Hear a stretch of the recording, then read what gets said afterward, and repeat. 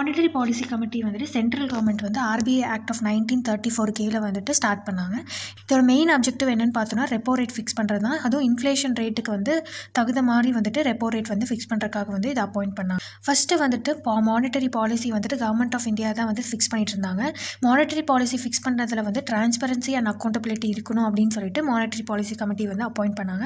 இந்த monetary policy committee வந்துட்டு ஒரு இயருக்கு வந்து ஃபோர் டைம்ஸ் வந்து கம்பல்சரியாக மீட் பண்ணும். ஹிஸ்ட்ரி என்னன்னு பார்த்தோன்னா கவர்மெண்ட் ஆஃப் இந்தியா வந்து பட்டேல் கமிட்டி வந்து அப்பாயிண்ட் பண்ணாங்க. இந்த பட்டேல் கமிட்டி தான் வந்துட்டு மானிட்டரி பாலிசி கமிட்டி வந்துட்டு அப்போ ஸ்டார்ட் பண்ணலாம் அப்படின்னு வந்து ரெக்கமெண்ட் பண்ணது. இதோட ஸ்ட்ரக்சர் என்னென்னா இதில் வந்து சிக்ஸ் மெம்பர்ஸ் இருப்பாங்க இன்க்ளூடிங் சேர்மன் இதில் வந்து த்ரீ மெம்பர்ஸ் வந்துட்டு ஆர்பிஐக்கு வெளியே வந்து அதை அப்பாயிண்ட் பண்ணுவாங்க. இது வந்து கவர்மெண்ட் ஆஃப் இந்தியா அப்பாயிண்ட் பண்ணும். மீதி த்ரீ மெம்பர்ஸ் வந்துட்டு ஆர்பிஐக்குள்ளே இருந்தே வந்து அப்பாயிண்ட் பண்ணுவாங்க.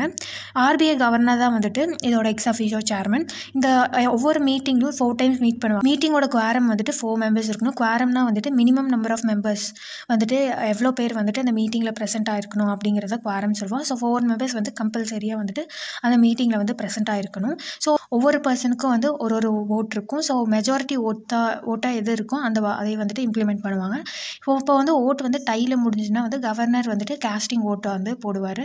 பாலிசி வந்து எதுக்கு இம்பார்ட்டன்னா எக்கனாமிக் க்ரோத் இருக்க இம்பார்ட்டன்ட் ரேட் வந்து ரேட் வந்து ஸ்டேபிளாக இருக்கிறதுக்கு வந்து அதை யூஸ் பண்ணுவாங்க. அப்புறம் இன்ஃப்ளேஷன் வந்து கண்ட்ரோல் பண்ணுறதுக்கு வந்து யூஸ் பண்ணுவாங்க.